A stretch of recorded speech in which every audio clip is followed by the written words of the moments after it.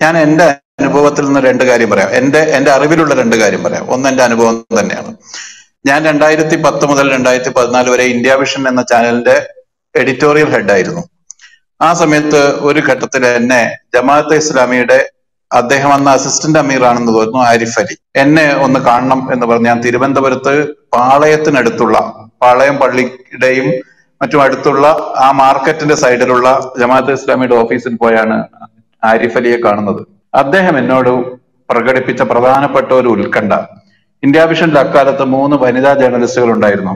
ഒന്ന് നദീറ അജ്മൽ. നദീറ ഇപ്പൊ മാതൃഭൂമിയുടെ ബാംഗ്ലൂർ റിപ്പോർട്ടറാണ് മാതൃഭൂമി ചാനലിന്റെ.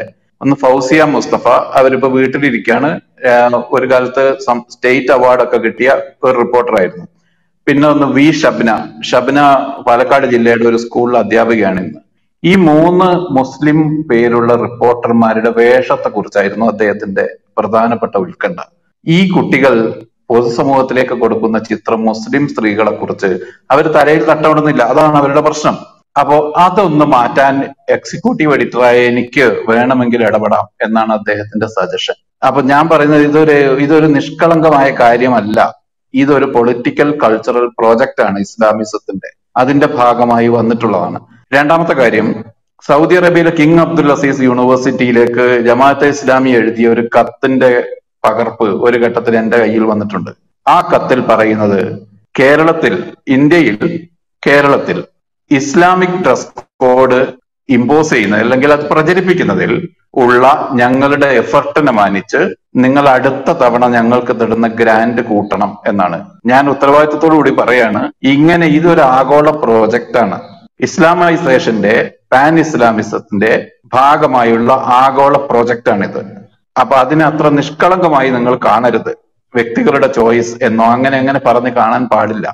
ഇതൊരു ഇസ്ലാമിസ്റ്റ് പ്രോജക്റ്റ് ആണ് ആ പ്രോജക്റ്റിന്റെ ഭാഗമായാണ് കഴിഞ്ഞ മുപ്പത് വർഷമായി ആയിരത്തി നാനൂറ് വർഷം നമ്മളുടെ ഉമ്മമാർ ധരിച്ച അവരുടെ വേഷത്തെയും അവരുടെ കൾച്ചറിനെയും റദ്ദാക്കിക്കൊണ്ട് മറ്റൊരു കൾച്ചർ വരുന്നത്. ഇതൊരു പ്രോജക്റ്റിന്റെ ഭാഗമാണ്. സൗദി അറേബ്യയിലെ കിങ് അബ്ദുൽ അസീസ് യൂണിവേഴ്സിറ്റി എന്നൊരു യൂണിവേഴ്സിറ്റി ഉണ്ട്. ആ യൂണിവേഴ്സിറ്റിയിൽ നിന്നുള്ള ശമ്പളം വാങ്ങിയാണ് കേരളത്തിലെ ഒരുപാട് ഇസ്ലാമിസ്റ്റുകൾ ജോലി ചെയ്തത്.